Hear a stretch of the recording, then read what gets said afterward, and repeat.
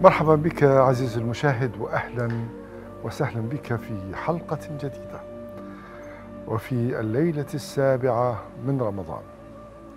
ها قد انقضى أسبوع من هذا الشهر الفضيل.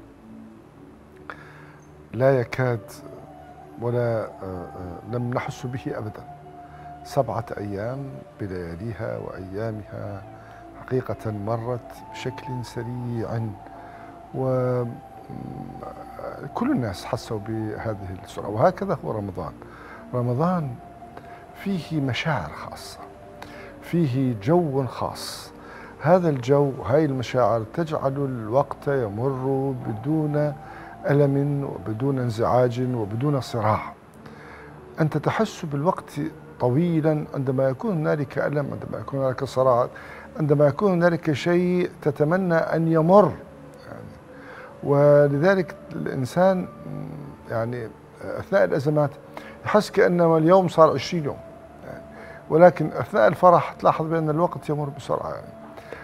يعني رمضان كذلك. رمضان فيه هذه ال هذه المشاعر التي يحس الإنسان بأنه مرتاح بأنه يعني ليس ليس في حالة صراع. مع الآخرين. لديه توحد مع شيء عظيم أكبر وأعظم من تلك التناقضات وتلك المشاكل وتلك الحاجات اليومية. إذا هو الإنسان متنازل ومتناسيا ومبتعدا عن الطعام والغذاء والشراب والغريزة فتصبح كل الأشياء الأخرى وبعد ذلك الإنسان يسمو بخلقه وبروحه وبالتالي لا مجال للصراعات ولا الأحقاد ولغيرها ولذلك تلاحظ الإنسان يكون كأنه طائر لا يحس بالأرض.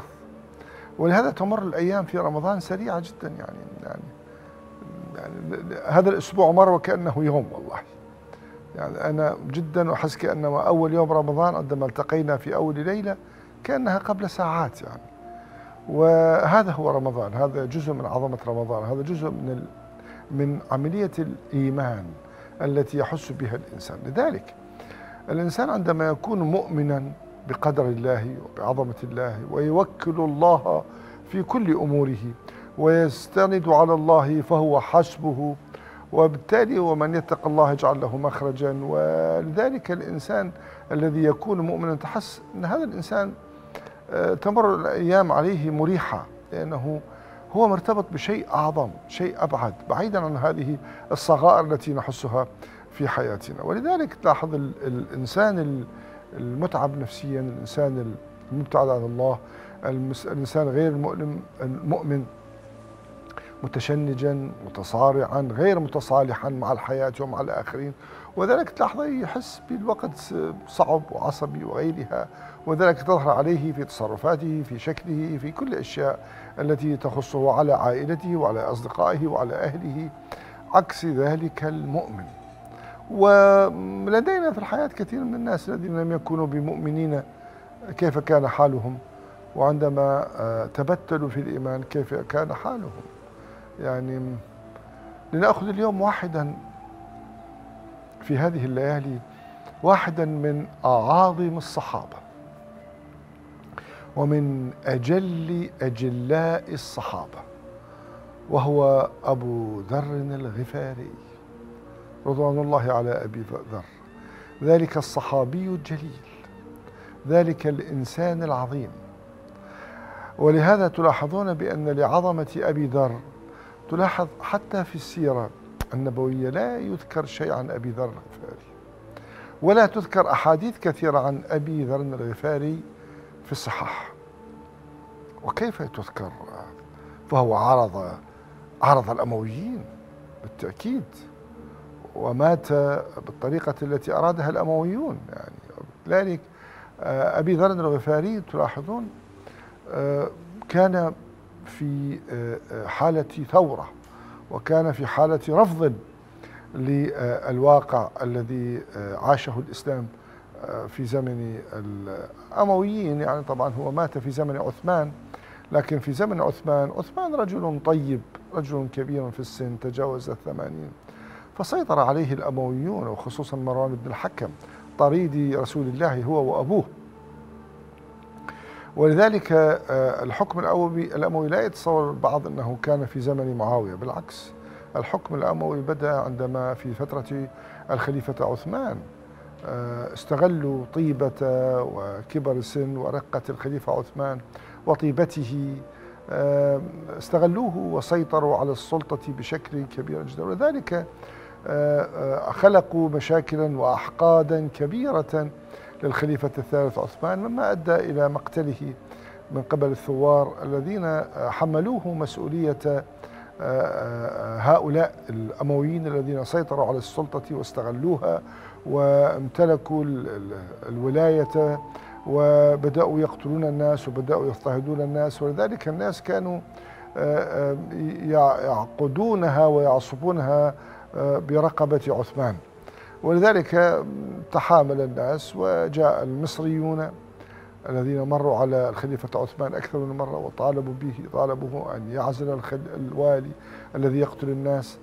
ولذلك عندما عجزوا ذهبوا إلى البصرة وعقدوا اجتماعا مع البصريين وجاء البصريين والمصريين إلى المدينة وحصلت هذه المقتلة. على فكرة أنهم الناس الذين ساعدوا على مقتل عثمان هم نفسهم اللي كانوا مستفيدين من عثمان. مروان بن الحكم يعني كان هذا.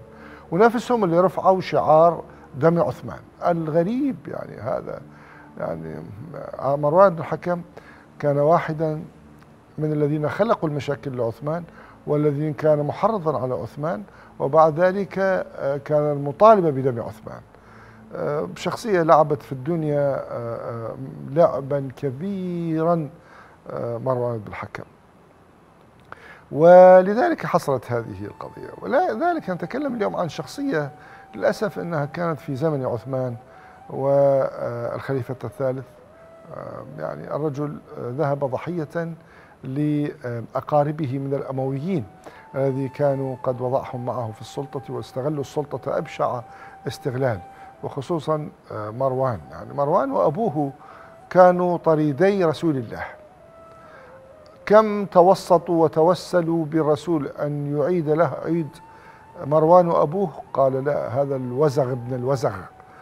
آه، آه، إذا كم الحنق الذي كان يحمله الرسول على هذين الاثنين؟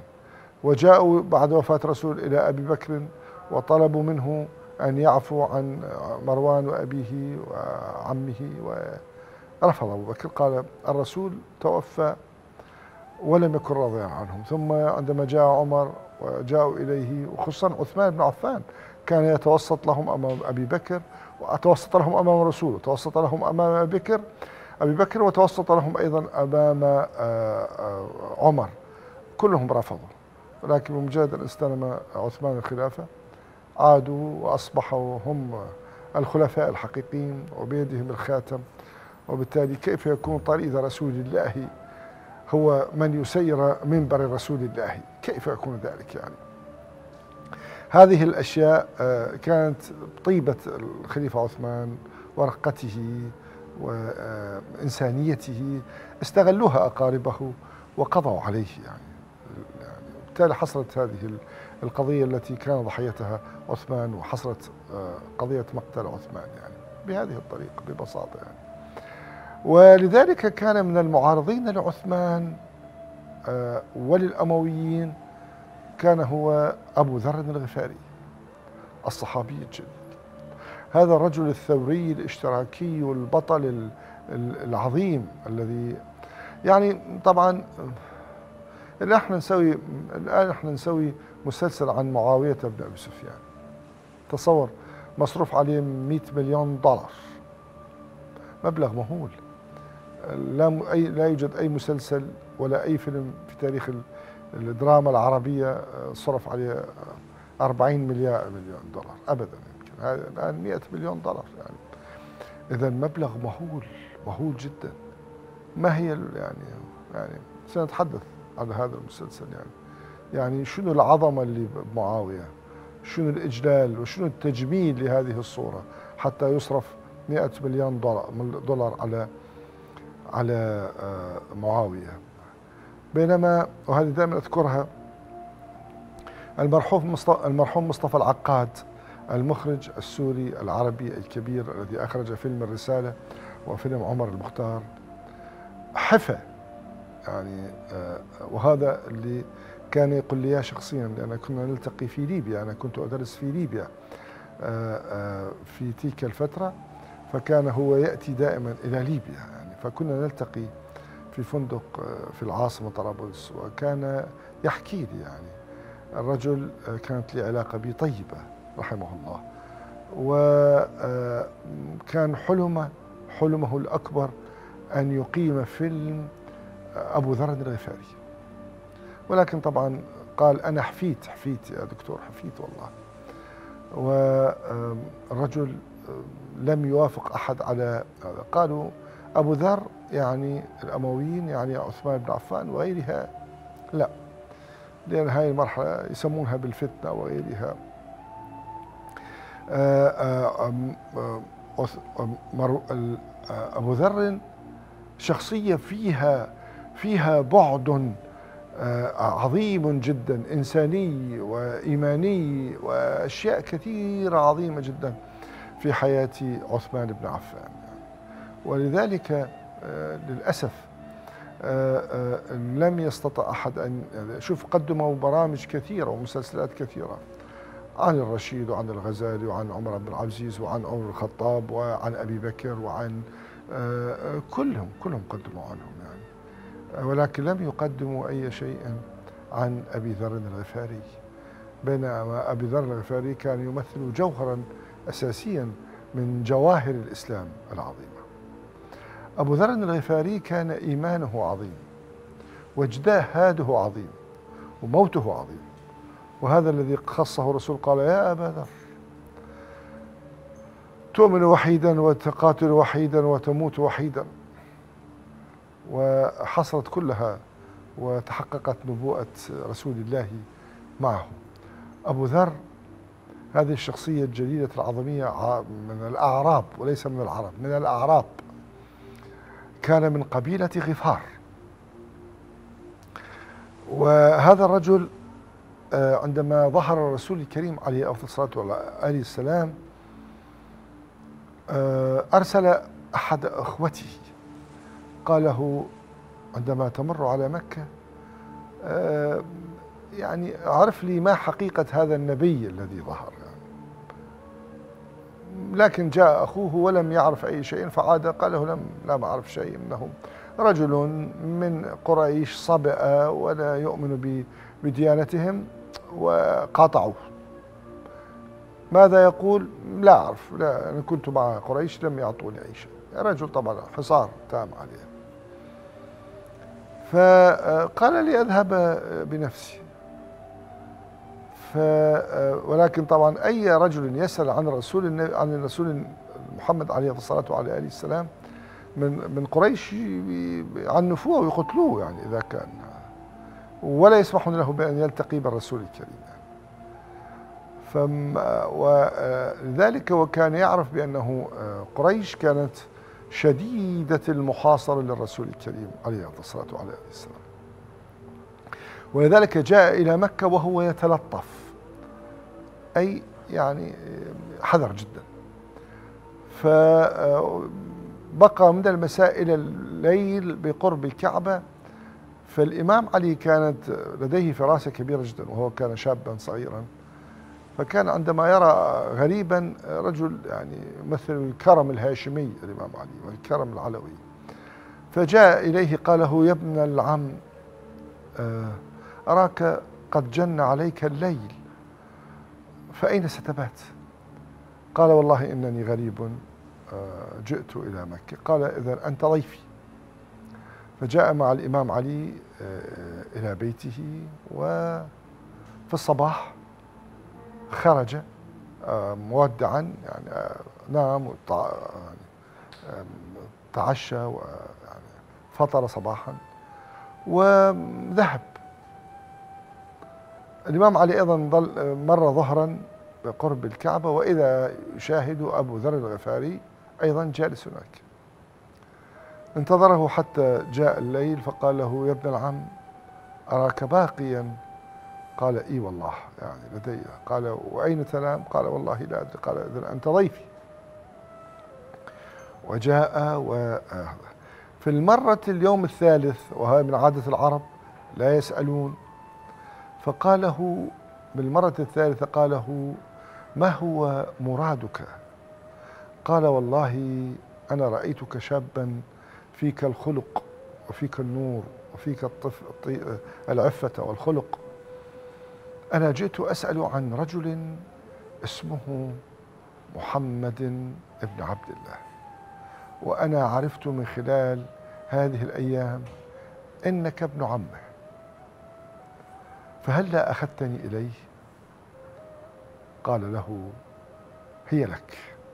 ولكن عندما أذهب شوف كياسة الإمام علي. عندما أذهب باتجاه البيت أنت اذهب خذ دورة حول الكعبة حتى الذين يرونك تنتهي الأنظار ثم تأتي من الجانب الآخر وتسير باتجاهه حتى لا يتبعك أحد لأن أي شخص يرونه معي أو يتبعني يعرفون أنه قادم إلى الرسول فإنهم سيأخذونه ويعنفونه ويمنعونه ويعتدون عليه. فخذ دائرة يعني لف من وراء الكعبة ومنك ومن تشوفني هذا شبت بعيد امشي وراي. طبعا سأكمل الحديث بعد هذا الفاصل. مرحبا بك عزيزي المشاهد مرة أخرى. آه، بعد هذا الفاصل لكي نكمل الحديث عن ما بدأنا به عن تلك الشخصية العظيمة الرائعة شخصية أبي ذر الغفاري طبعا هذا البرنامج له رسالة. هذه الرسالة تتكون من أشياء كثيرة. ومن ضمن هذه الأشياء هو أننا فقدنا إرثا عظيما من السنة النبوية بسبب السلطات الأموية والعباسية وموقفها من آل البيت وموقفها من الإمام علي وموقفها من صحابته وبالتالي ضاع منا هذا الإرث العظيم. وهؤلاء الناس الذين كانوا ملاصقين للرسول كانوا قد علموا من الرسول أشياء عظيمة وتعلموا من الرسول أشياء عظيمة وسمعوا من الرسول أشياء عظيمة كل هذه الأشياء ضاعت وشطبت ولا نعلم عنها شيء. ولذلك نركز نحن على أشخاص آه، وعلى شخصيات في هذا البرنامج. من يبقى معنا سيعرف بأن لهذا البرنامج هدف سيستشفه في نهاية المطاف بأن هنالك شيء آه، آه، قد حصل. وهنالك خطأ قد وقع وهنالك نقص قد استمر. ولهذا فإننا نريد أن نعيد للسنة النبوية آه، يعني حقيقتها التي ثلمت وضاع الكثير منها بسبب إغماط بعض الشخصيات آه، آه، التي رافقت الرسول والتي لم ينقل عنها شيء. من هذه الشخصيات التي كانت مع الرسول دائما ومع ابي الحسن كانت هو شخصية أبي ذر الغفاري كما قلنا. تحدثنا عن أبي ذر الغفاري بأنه أخذه الإمام علي عليه السلام آه، إلى الرسول الكريم عليه أفضل الصلاة وعلى آله يعني آه، آه، السلام و والتقى بالرسول دخل على الرسول يعني. فقال السلام عليكم. قال الرسول وعليكم السلام. أول مرة استخدمت فيها كلمة السلام عليكم هي تلك التي قالها أبو ذر الغفاري إلى الرسول وإلى الحضور والتي استحسنها الرسول وأصبحت فيما بعد هي تحية الإسلام. السلام عليكم. كانت سابقا عمت مساء. آه، هذه التي كانت سائدة. ولكن الرسول كان لا لا, لا ينطقها. وبالتالي كانت الكلمة التي استخدمت في هذا اللقاء ما بين أبي ذر الغفاري ورسول الكريم كانت هي السلام عليكم. لأن الرسول كان موجود وبعض من الصحابة موجودين وبالتالي قال له الرسول وعليكم السلام ورحمة الله وبركاته. فإذا الذي أوجد السلام كان واحدا من الصحابة العظام وهو أبي ذر الغفاري الذي استحسن الرسول فعلته. فدخل. إلى الرسول وقال له سمعت بك يا محمد. هل لا تخبرني عن دينك وعن ربك؟ فبدأ الرسول يحدثه. قبل أن يحدث الرسول قال قاله من أين الرجل؟ فرد أبي ذر قال من غفار. فابتسم الرسول. ابتسامة عريضة.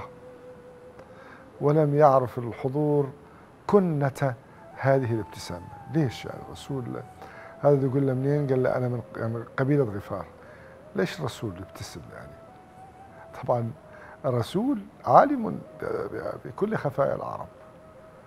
فقبيلة غفار كانت القبيلة الحرامية واللصوص. وكان الغفاريين أعظم أناس في السرقة.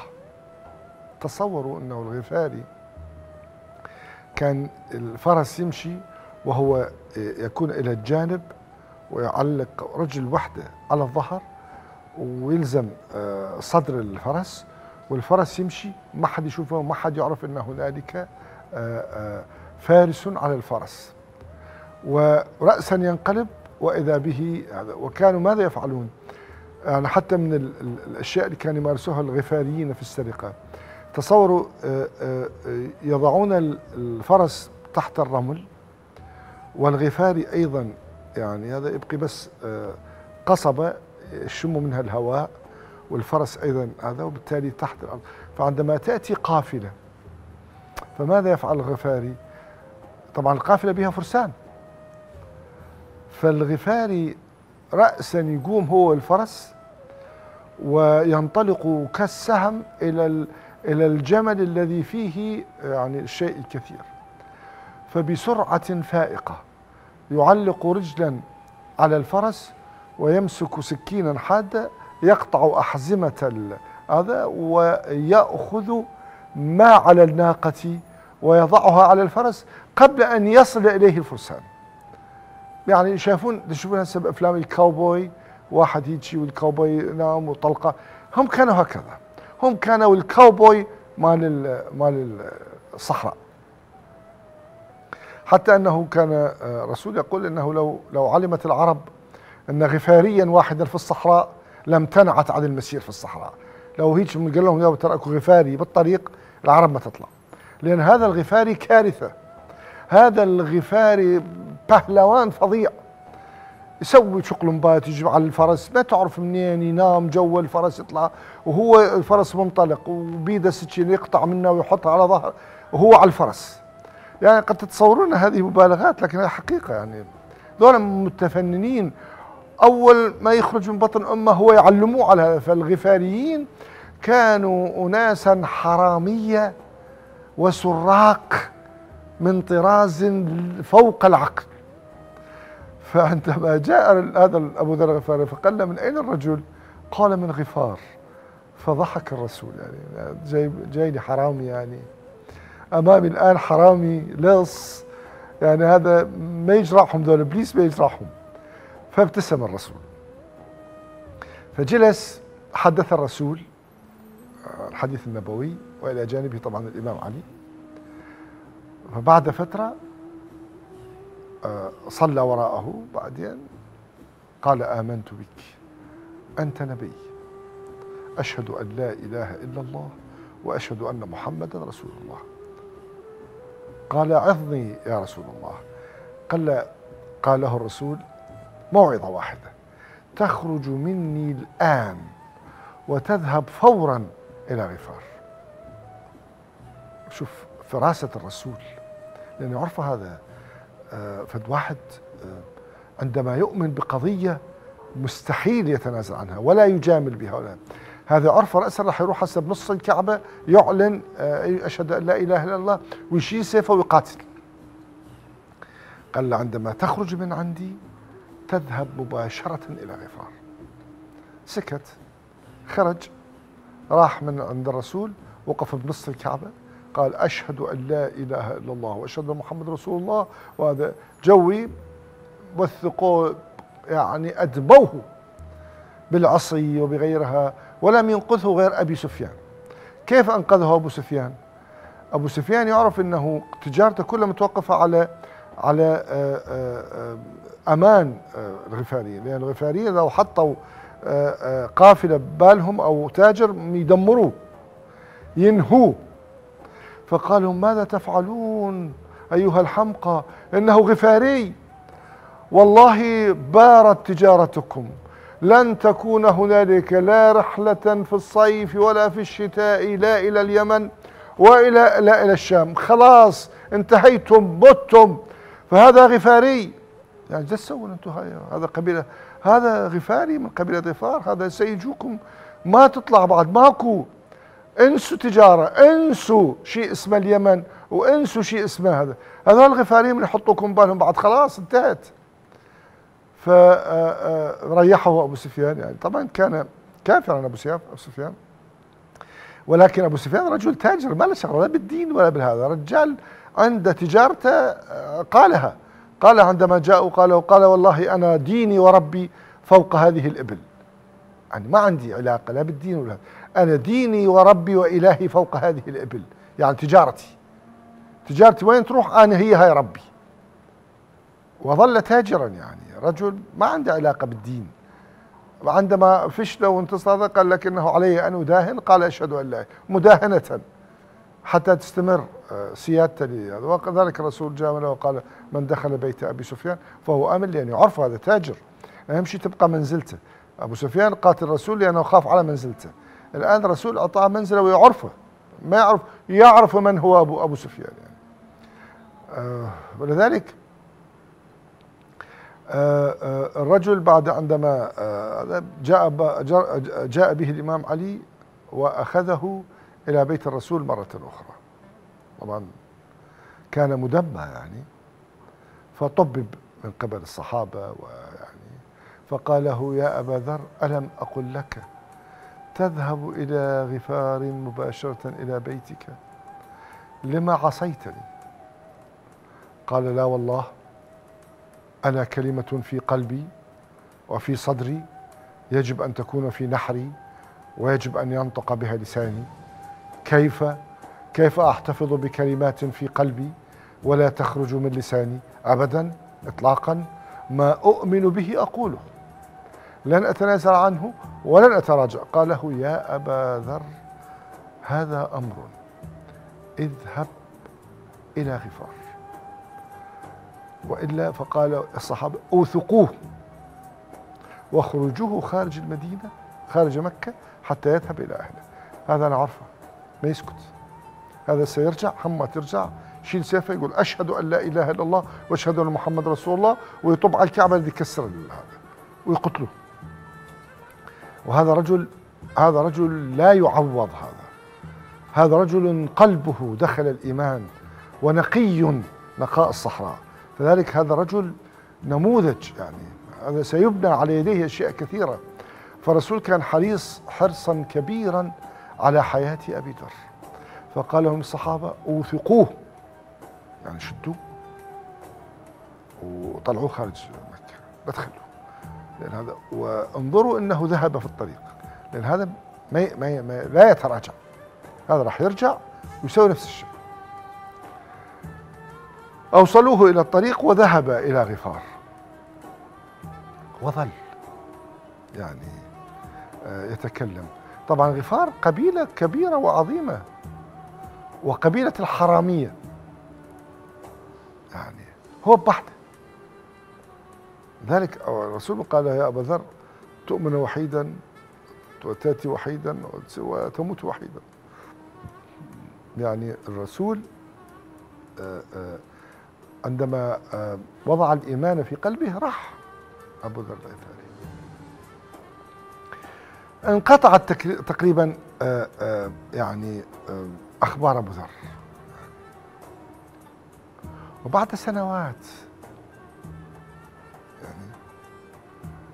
عندما هاجر الرسول إلى المدينة وهو في المسجد وإذا بالصحابة يقولون له يا رسول الله هنالك رهط كبير بالمئات قادم إلينا. أنعل النفير؟ فصعد قال لا هؤلاء قوم مسالمون. لأنهم يحملون السعف. قالوا قد تكون خدعة. قال لا. هؤلاء هؤلاء قوم مسالمون. طبعا سأكمل الحديث بعد هذا الفاصل. مرحبا بك عزيزي المشاهد مرة أخرى لنكمل الحديث عن هذه الشخصية العظيمة.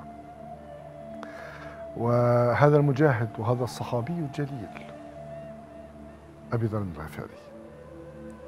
وقلنا قبل الفاصل بأن الرسول كان في المسجد في المدينة بعد هجرته وإذا بالصحابة يقول له يا رسول الله هنالك شعب قادم إلينا.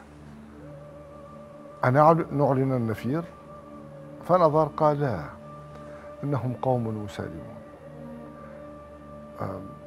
مئات يحملون سعف النخيل وهم آه، جاءوا إليه راجلين وإذا به أبي ذر الغفاري يأتي بغفار كلها مؤمنة. واحد جعل شعبا كاملا مؤمن. ولذلك آه، استقبله الرسول وقال له يا أبا ذر تؤمن وحيدا وتسير وحيدا وتموت وحيدا. هذه المقولة التي قالها بحق أبي ذر الغفاري لأن أبو ذر يعني وذلك أصبح في المدينة قريبا جدا من رسول الله. يعني عاش في المدينة. حتى في أحد الغزوات آه، الرسول كان يقود المعركة وإذا بهم وصلوا لكن شهدوا بأن أبي ذر الغفاري غير موجود يعني لم يصل. قالوا إن أبي ذر إن إن أبي ذر قد تخلف. قال لهم لا لا يتخلف ولم يتخلف. فانتظروا يوما أو يومين. قال له يا رسول الله إن أبا ذر قد تخلف. قال لهم لا. قالوا أو مات. قال لهم لا. ليس أوانه. وإذا بثلاثة أيام يأتي أبو ذر ماشيا على رجليه. قال له ما خطبك ما الذي حصل؟ قال عندما سمعت بالغزوة جئت على راحلتي ورأيتكم آه، ذاهبين فسرت وراءكم وإذا كان الحر شديد جدا يعني كانت صائفة. فمن شدة الحر تصوروا الناقة نفقت ماتت. فماذا أفعل؟ وضعت متاعي على ظهري وجئت مشي مشي. بالصحراء. هذه الصحراء اللي قتلت عابر الصحراء اللي هو الناقة آه، فأي أي حر كان وأي عظمة من القيد. فقال لهم يا رسول قالوا لهم لم نكن أقل لكم. فقيل هاي المقولة بحق أبي ذر. فقاتل أبو ذر مع الرسول. يعني أجى وحيدا يعني قاتل وحيدا وآمن وحيدا وتموت وحيدا يا أبا ذر. وظل لصيقا برسول الله. آه، أبو ذر كان دائما يحب أن يجلس أمام الرسول مباشرة. فقالوا له لماذا؟ قال حتى ما معناها لا تفوتني كلمة من كلام رسول الله. فدائما يقعد قدامه. يعني عندما يخطب الرسول أبو ذر قد أمامه. وذلك حصلت أشياء كثيرة. كان الرسول يتحدث أبو ذر كان يعني يذب كلمة. حتى عندما قال أن آه، آه، يعني حديثا عن ما من امرئ أدرك كبرة والديه إلا ودخل النار. فأبو ذر قال وإن لم يصم وإن لم يصلي؟ قال له نعم. وإن لم يصم يصلي. قال وإن لم يصم ويصلي قال نعم. فظل خمس مرات يرد الرسول أنه قال رغم أنف رغم أنف رغم أنف رغم أنف خمس مرات. رغم أنف أبي ذر. أن من أدرك كبرة, كبرة والديه آه، آه، إلا ودخل الجنة آه، وإن لم يصم وإن لم يصلي. يعني رغم أنف أبي, أبي ذر خمس مرات يعني. فأبو ذر كان مستغرب يعني معقولة واحد يدخل الجنة وما يصوم ويصلي نعم. اللي داري أمه وأبوه بكبرتهم هذا يدخل الجنة. وكانت الحلقة الأولى أو الثانية قد تحدثنا عن هذا الحديث. فأبو ذر كان دائما. ففي مرة كان جالسا إلى جانب رسول فقال له يا أبا ذر لو رأيت الولاة يستحوذون على الفيء. يعني واردات الناس واردات الأمصار الفيء يعني المزارع وغيرها. فماذا تفعل؟ قال أحمل سيفي لأقاتلهم. قال له لا يا أبا ذر لا تحمل سيفك انتظر حتى تلقاني يوم الآخرة يعني إذا شفت الولاة شوف الرسول كان يعرف أنه الولاة من بعده سيستحوذون على الفيء والله أعلمه بأن أبو ذر فقال له يا أبو ذر ستموت وحيدا في الرمضاء. تموت وحيد وبالرمضاء. لذلك كل ما تصير مشاكل قال له ستموت قال لهم لا. قال رسول الله إنني سأموت بالرمضاء وحيدا. ما راح أموت بهاي لا بهاي المعركة ولا هنا ولا ولا بالشام ولا شيء. أنا أموت بالرمضاء ووحيد. هذا قول الرسول. لذلك آه، أبو الرسول أوصاه قال لا تشيل سيفك لأن الرسول كان ما يريد يتقاتلون المسلمين. كان يعرف راح يصير. انحراف راح يصير استخ... است... يعني سيطرة على الفي راح يصير عدم قدرة على إحقاق الحق وغيرها راح يصير أناس يتسيدون. كان يعرف الرسول ولكن الرسول كان لا يريد قتالا إسلاميا فكان قد أوصى أبي ذر أن لا تحمل سيفك لا تحمل سيفك. ومرت. عاش أبي ذر الغفاري في زمن أبي بكر كان مجاهدا أيضا وعاش في زمن عمر وشارك في حروب التحرير ونشر الإسلام وغيرها وكان مجاهدا حقيقيا. وجاء في الفترة التي استلم الخلافة فيها عثمان بن عفان. عثمان بن عفان كما قلنا إنسان طيب رقيق كبير في السن تجاوز الثمانين فسيطر عليه الأمويين مروان وجماعته. وبالتالي بدأوا يسيطرون على الفئ ويحطون ولاءة ويسوون بكيفهم. فكان أبو ذر يقف في باب عثمان ويقول له يا عثمان! قال حبيبي رسول الله إن الإمرة خيط ما بين الجنة والنار خيط رفيع. يعني ما معناه من الصعوبة واحد يجتازه لا أظنك ستجتازه. يا عثمان هؤلاء الناس يفعلون كذا وكذا وكذا. فظل في الطرقات يؤلب الناس ويتكلم على الولاة ويرى وأرادوا قتله. لكن عثمان عفان قال لهم لا. دزول معاوية بالشام. قال ما حد هذا يروح للشام. الشام حلوة وطيبة وهوا طيب شنو. ومعاوية يعرف شلون يداري هاي الشغلات. اللي يوقف بوجهه يعرف يعني يعطيه فلوس يسكته يعني. ذهب أبي ذر الغفاري إلى الشام إلى معاوية. وإذا به يزداد ووجد معاوية باني قصور. القصر الأخضر والقصر ما أدري إيش والقصر الزجاجي ومسوي الهوايل. آه، معاوية. هل يسكت أبا ذر؟ لا. زاد في معاوية أرسل إلى عثمان قال له إنني سأقتله. قال لا لا تقتله. إنه صحابي.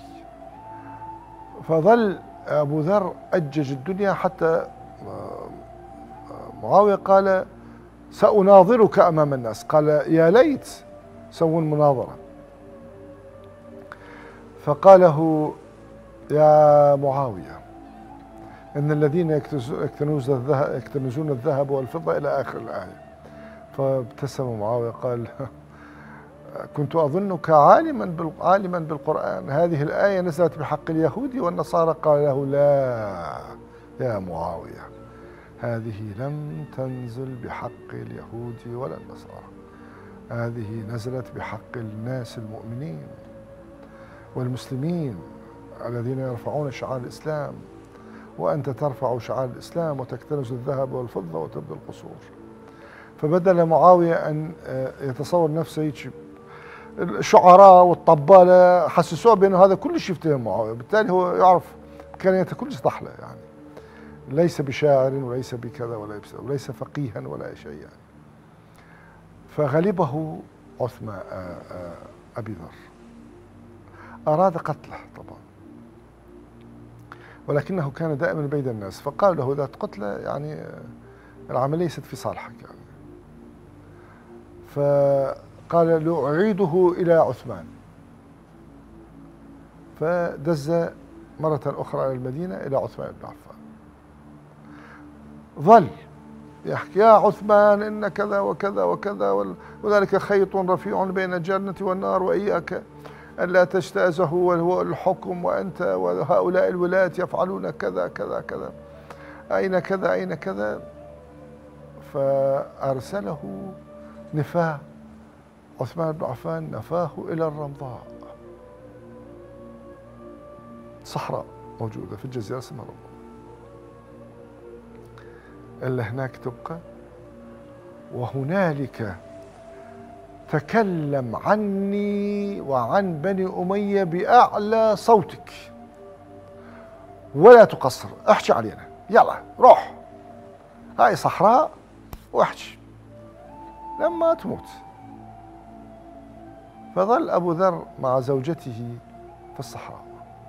يعني وهو كبر يعني مريض صحراء قاتلة يعني. فكل يوم يسأل زوجته على الفراش هل ترين قوما قادمين من أشخاص؟ قالت له لا. قال إذا لا أموت اليوم. ظل يوميا يسأل زوجته. حتى مرة قالت له أظن أن يومك اليوم؟ قال لها لا. اخرجي هل ترين أحدا؟ قالت لا. قال لا أموت اليوم. كان بعد فترة أنه وصل إلى إلى الاحتضار فقال لها أظنني مهاجر. فانظري هل هنالك رجال قادمون؟ قالت نعم. هنالك رجال وكان ظنه عبد الله بن مسعود طبعا. قال إذا سأفارق الحياة قبل أن يصلون إلي. قبل أن يصلون فارق الحياة ذر رضوان الله على أبي فكان عبد الله بن مسعود وبعض الصحابة ودفنوه.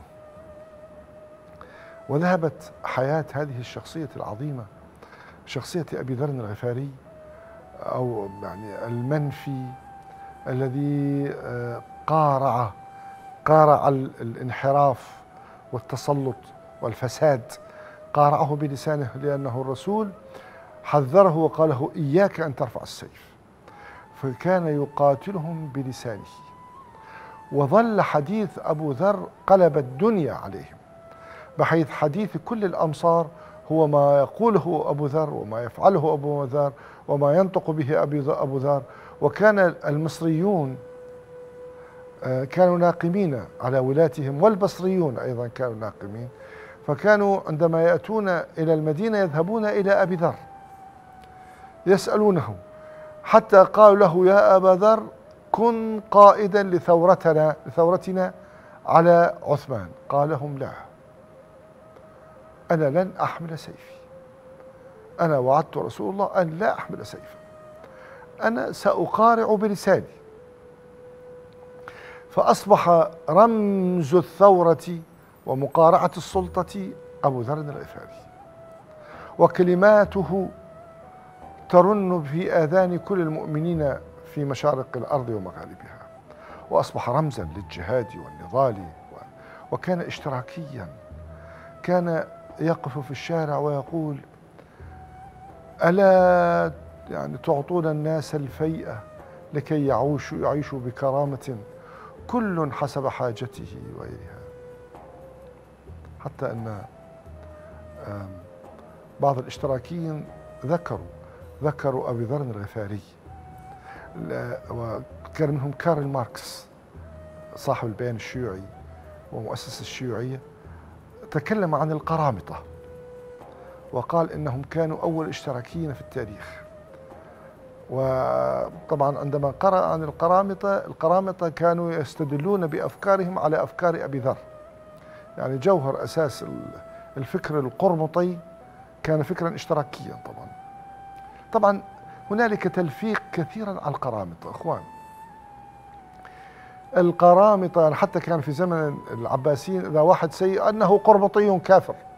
قرمطي رافضي كافر. آه روافض اعتبروهم شيعة خلاص. خلاص قرمطي معناها. وأي واحد سيء أنه قرمطي.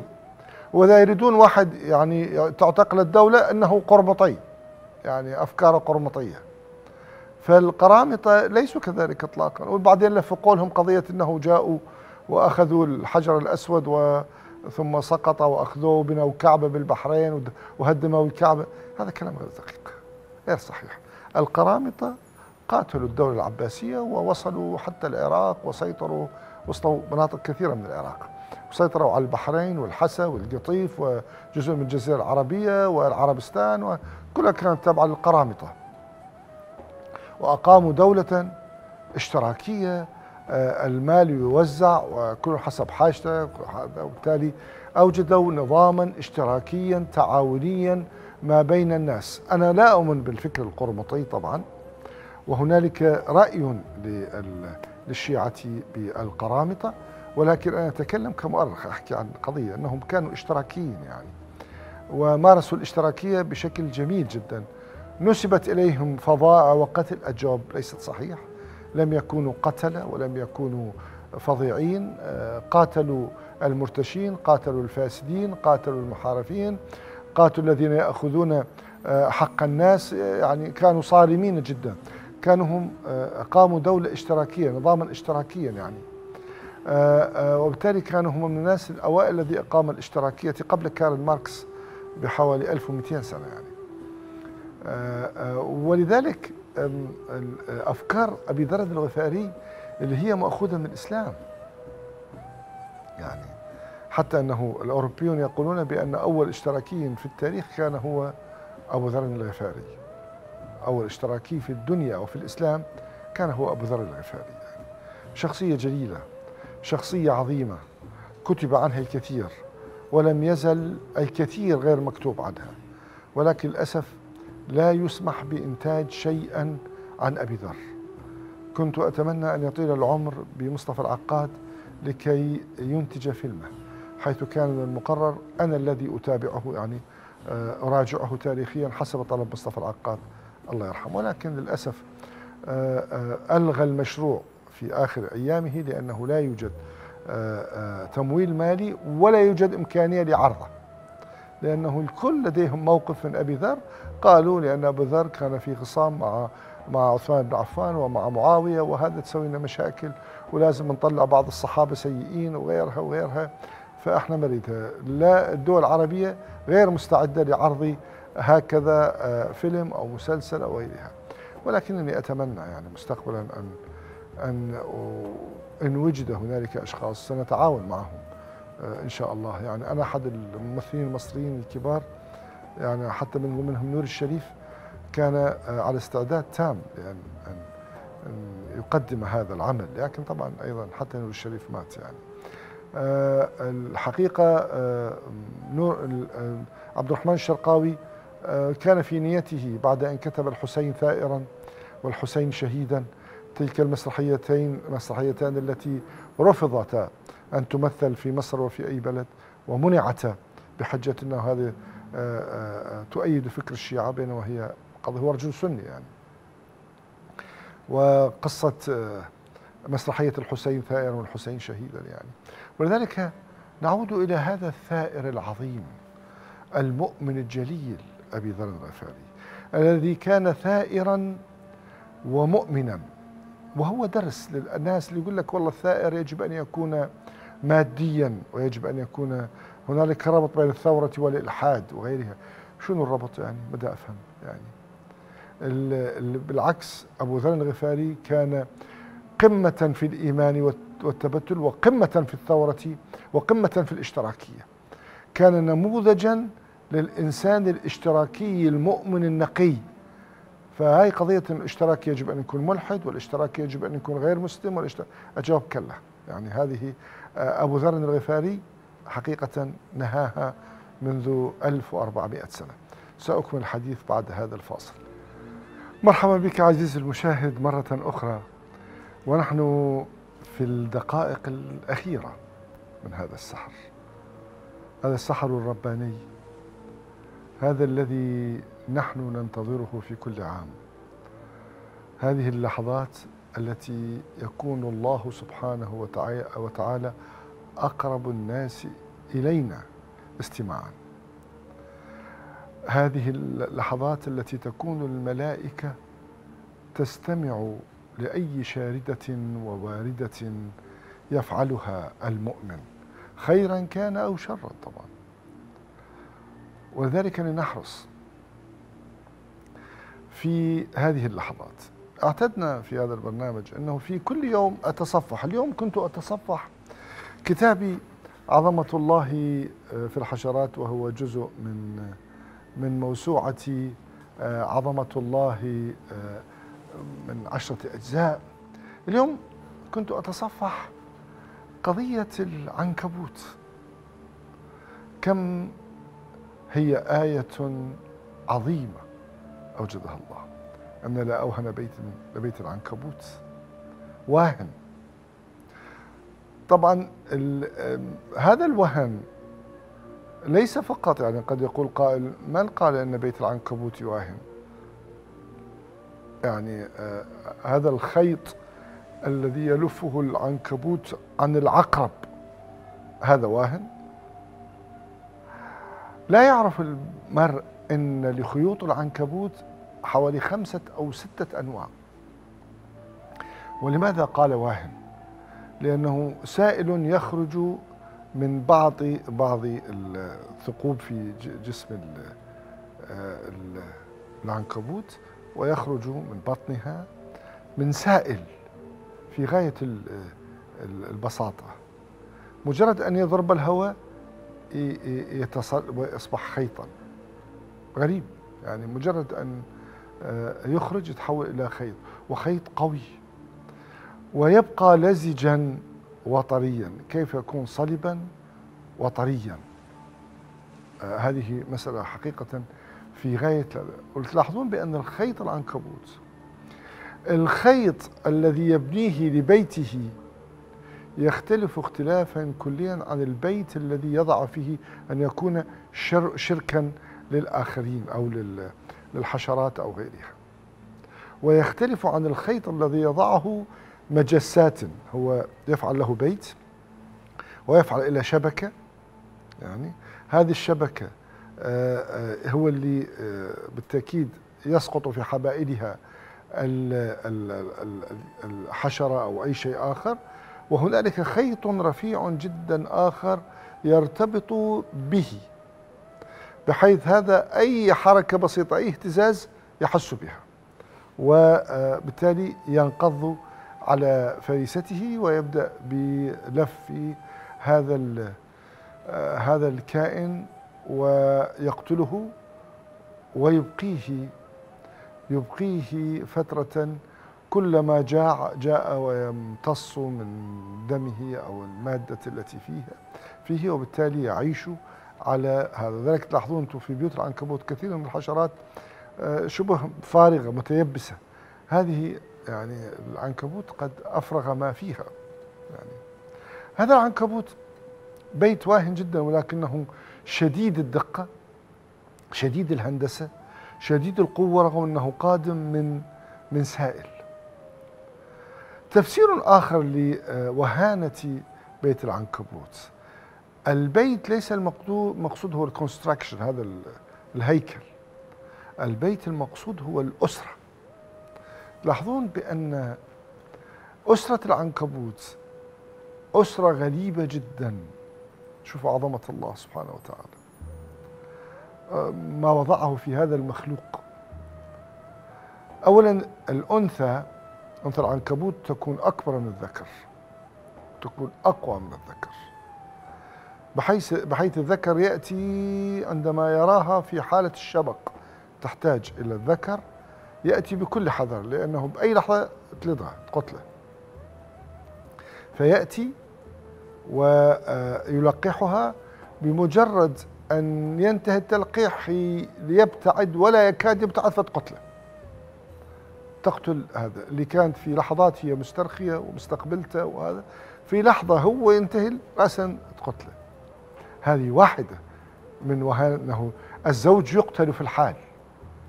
القضية الثانية أن أبناء العنكبوت يلتصقون بظهرها ويعيشون عليها. وهي تصطاد وهي تروح وهي تجي هم موجودين بظهرها بس الغريب أنه مجرد أن يصبحون قادرين ويغادرون أمهم يقتلون أمهم. ويعيشون عليها. لاحظون؟ هذا بيت واهن. أسرة واهنة. فلذلك كان الله في تعبيره دقيقا.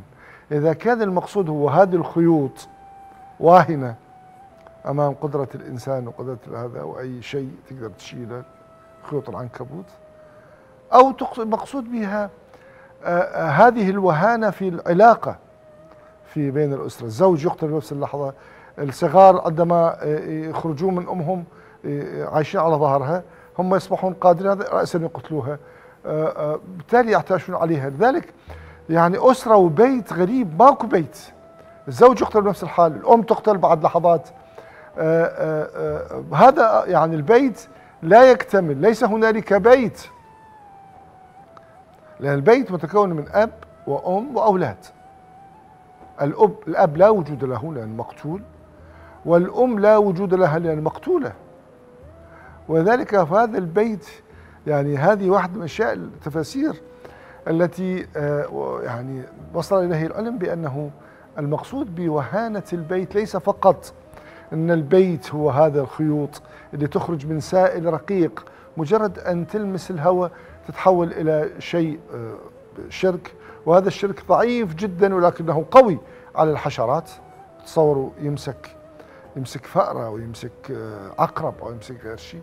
ولكنه أيضا متنوع. ولكنه هو واهن جدا بمجرد أن تزيله أنت أو يأتي حيوان أكبر ممكن يزيله يعني. ولهذا آه، وأيضا هنالك وهانة في تركيبة البيت. فإن أوهن بيت لبيت العنكبوت. إذا كان البيت الكونستراكشن الهيكل أو إذا كان الوهانة هي الأسرة. فهذه واحدة من آيات فصلتها كثيرا في كتابي وهي آية من آيات الله سبحانه وتعالى ذكرها في قرآنه الكريم قبل 1400 سنة. لذلك أقول بأن القرآن لم يخلق لفترة شوف قبل 1400 سنة كانت هنالك آية أنها وصفت وهانة بيت العنكبوت هو هذا هذا الخيوط. بعدين تطور العلم شفناها تطلع من مادة سائلة خفيفة جدا. اكتشفنا أنها واهنة. يعني تخرج من وهن و يعني هي أساسا واهنة قبل أن تتكون الخيوط. بعدين تطور العلم اكتشفنا لا أنه هذه الزوجة تقتل أبنائها وتقتل زوجها وبعدين الأبناء يقتلون أمهم. أيضا هنالك وهانة. ولا نعرف مستقبلا سيكتشف العلم أشياء كثيرة في العنكبوت. قد يكون أنه لا يعيش لأنه قد يكون فيه أشياء معينة فيه وهانة في جسمه تؤدي إلى قتله. ولذلك القرآن لكل زمان ومكان في كل فترة نكتشف في القرآن أشياء. القرآن كان مبهرا قبل 1400 سنة وقبل 1300 سنة و1000 سنة و500 سنة و300 سنة. وسيكون أبهى أكثر إبهارا مستقبلا. يعني أن الله يخشى من عباده العلماء. العلماء أكثر خشية من الله لأنهم يكتشفون عظمة الله سبحانه وتعالى. ولهذا دائما الله يطالبنا بأن نتذكر مخلوقات الله نعيش في خلق الله. يعني أنا شخصيا كل ما أمشي أفكر بالشجرة شلون تعيش الطير شلون طائر المي شلون يصير. يعني مو أنا وكل البشر. والطفل شلون يولد وشلون يتغذى والتلقيح شلون يصير والجرح شلون يطيب وكل هذه والعواطف والأمومة وغيرها. كل هذه الأشياء آه، الإنسان يؤجر عندما يفكر ذلك الإسلام يطالب الإنسان أن يفكر في الخالق والمخلوق. بينما الأديان الأخرى لا تمنع الإنسان أن يفكر في الخالق والمخلوق وتعتبر هذه نوع من الزندقة. ولكن الله سبحانه وتعالى في قرآنه لا يقول لك كلما فكرت في الخلق والمخلوق فإنك آه، تزداد إيمانا لأنك, لأنك تكتشف الله أكثر وتكتشف عظمة الله سبحانه وتعالى وتزداد إيمان لله سبحانه وتعالى وتزداد تبتلا. لذلك الإمام علي عليه السلام ذلك الفارس المغوار الذي جعل من جسده وروحه وكل ما يملك لله ورسوله. تلاحظون عندما يصلي يبكي وعندما يدعو يبكي يعني خشية من الله وخوفا من الله ورغبة في عفو الله وفي كرمه وفي جنته وفي آه، مغفرته. هذا الذي أعطى كل شيء. لكن مع ذلك أكثر الناس خشية وخوفا والتساقا لماذا؟ لأنه عرف الله أكثر منا. لم نعرف الله كما عرفها علي بن أبي طالب لأن علي عرفها من محمد الرسول العظيم عليه الصلاة والسلام. ولهذا كلما تقربنا من علي كلما تقربنا إلى الله وكلما سبرنا أغوار فكر علي بن أبي طالب كلما وصلنا إلى آه، التقرب إلى الله سبحانه وتعالى. ولذلك نحن أتباع علي أن لا نبقى مركزين على قضية واحدة. والله علي قتل عمرو بن ود العامري فتح باب خيبر وانضرب ابن ملجم. هو هذا علي. علي هذا علي العلم والتقوى والإيمان والإعجاز. نختصر بثلاث أشياء أربعة. حقيقة آه، يعني هذا الشيء لا يتفق. ولذلك علينا الآن نحن وفي هذا الشهر أن نحاول أن نعرف آه، عن علي أشياء آه، لم نكن نعرفها. لأن عندما نعرف علي نعرف الله. علي آية من آية ربانية من آيات الله في خلقه وشجاعته وعلمه وعطائه وتفكيره. فهو باب مدينة علم رسول الله. الله زق أعطى للرسول إيحاء ربانيا والرسول زق العلم للإمام علي زقا. ولم تكن كلمته اعتباطا. أنا مدينة العلم. أنا مدينة العلم. وعلي بابها. فلذلك لا نحصر علي بأشياء بسيطة. أشياء محددة. نرددها دائما. ويعرفها الناس كلهم. علينا أن نغوص في نهج البلاغة أن نعرف. أنا قرأت نهج البلاغة عشرة مرات. ألفت عشرة كتب عن علي بن أبي طالب. ولو أقرأها المرة دعش سأؤلف كتابا. لو أقرأ نهج البلاغة للمرة المليون سأؤلف كتابا عن نهج البلاغة وعن علي بن أبي طالب. حاولوا فلنحاول في هذه الأيام أن نعرف عليا فإننا لو عرفنا أبا الحسن عرفنا الله أكثر. وبذلك أقول لكم شكرا جزيلا. وإلى اللقاء. وسحورا طيبا. مع رق تحياتي.